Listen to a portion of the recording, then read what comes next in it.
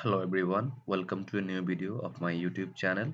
So in this video I am going to show you that how you can add a border in your PDF document. So when we lost the Word document, when uh, we are not access to the Word document, so we have only the PDF document, how we can edit and how we can add a border in the PDF documents. I'm going to show you that in this video so so here is the pdf document of mine. Then i want to add a border in this image and i want to add a border in the whole page of this pdf so so let's see how i can do it and we can do it. So so firstly you need to go to google chrome browser then open a new tab and then search here pdf editor. Pdf editor. Search here pdf editor then go to this website smallpdf.com pdf editor okay? Then this type of a interface will open. So you can come into this website by writing the smallpdf.com slash edit pdf so now select the pdf file. So my pdf file is in my desktop. So i'm going to open it. So it is opening on small pdf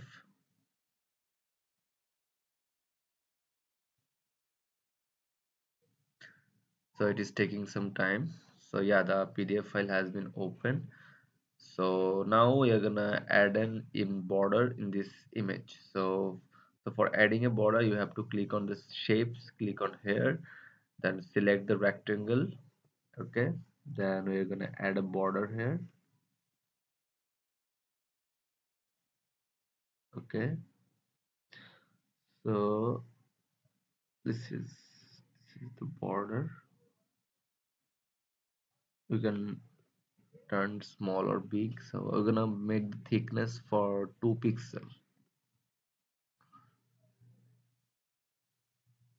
2 okay thickness 2 we're gonna change the border color.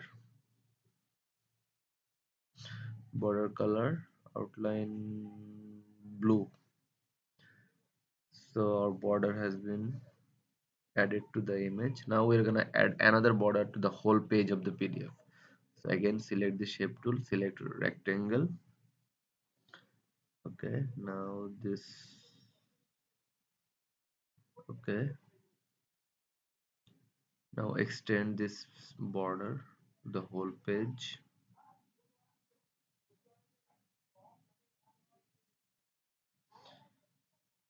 Okay so now we are gonna change the whole page border color is black okay thickness might be little similar bigger. So we're gonna make it one.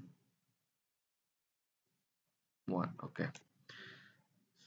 So the border has been added successfully. So so now what you need to do you need to click on export download the pdf so the pdf has been downloaded. Now mm, click down open this pdf there it is. This is the pdf that you have added the border.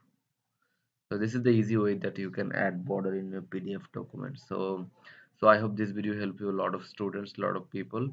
And if you like this video make sure hit the subscribe button and share this video with your friends and colleagues. So thank you. Thanks for watching